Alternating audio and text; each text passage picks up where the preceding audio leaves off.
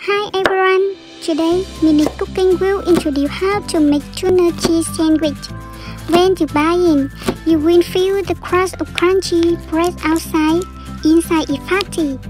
Let's go to the kitchen and make it now.